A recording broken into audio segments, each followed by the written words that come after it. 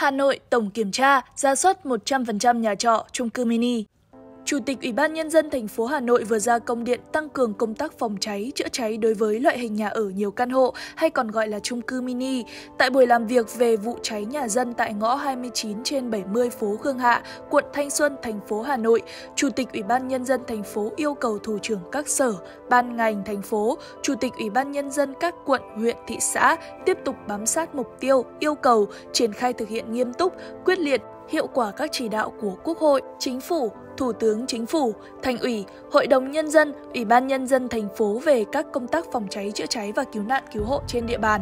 Chủ tịch Ủy ban Nhân dân thành phố Hà Nội giao Công an thành phố chỉ đạo các đơn vị chức năng khẩn trương điều tra, làm rõ nguyên nhân vụ cháy, làm rõ trách nhiệm của các tổ chức, cá nhân có liên quan, xử lý nghiêm theo quy định của pháp luật nếu có. Chủ tịch Ủy ban Nhân dân thành phố giao Chủ tịch Ủy ban Nhân dân các quận, huyện, thị xã tổ chức tổng kiểm tra, ra soát 100% các cơ sở, nhà ở nhiều căn hộ, nhà cho thuê trên địa bàn quản lý, đặc biệt là chung cư mini. Các đơn vị kịp thời phát hiện, xử lý nghiêm các vi phạm về trật tự xây dựng, phòng cháy chữa cháy theo quy định của pháp luật